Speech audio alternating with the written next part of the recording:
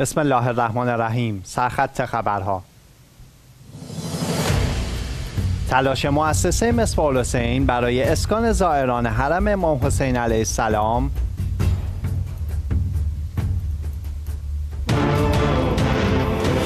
یک نظرسنجی بیش از نیمی از جوانان عرب به دنبال مهاجرت هستند.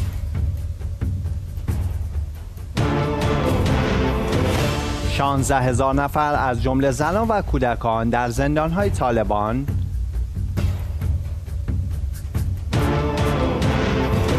و بهرهمندی صدها یتیم در افغانستان از کمک های مالی دفتر آیت الله لزما شیرازی و یک مرکز مرتبط.